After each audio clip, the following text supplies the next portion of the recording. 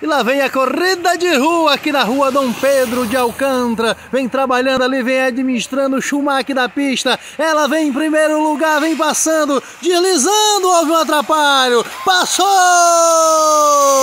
Vai cruzar a linha de chegada. Aquele vem em segundo lugar. Ela corre para pegar o seu carrinho. Ainda vai dar tempo. Aquele ficou olhado no meio. Olha o campeão ali, Mário Jorge.